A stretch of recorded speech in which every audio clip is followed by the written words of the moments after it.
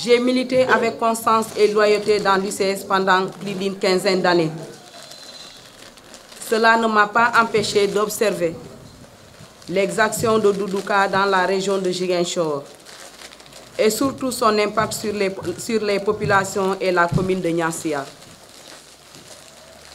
On a bénéficié à chaque fois de plusieurs choses, dont des ambulances, des billets de, de mec, des soutiens aux femmes, des dons pendant le carême et des moutons pendant la tabaski, j'en passe.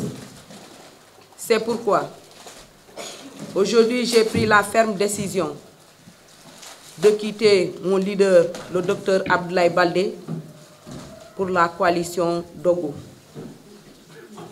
Quand je parle de constance, je veux aussi rappeler qu'à chaque fois, qu'à chaque tabaski, gamon, et etc., les musulmans bénéficient d'un soutien du ministre et ils, le disent, ils le disent à répétition ici à la mairie à chaque fois que je me rends dans les villages de la commune.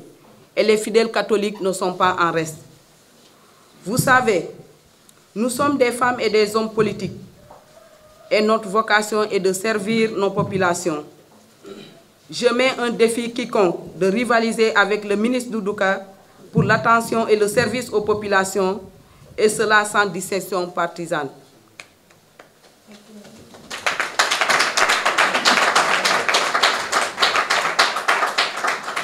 Et ces œuvres ne se limitent pas en Casamance naturelle seulement.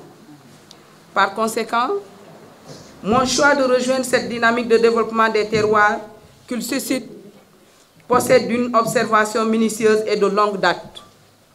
Et quand j'en ai informé mes administrés de Nyansia, mes camarades de parti, leur approbation enthousiaste et unanime a fini de me convaincre de mon choix et également de leur.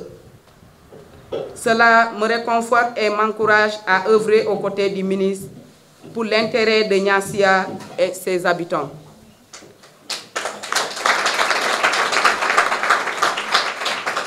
Je tenais donc à faire cette déclaration publique par devoir de transparence et pour que nul n'en ignore.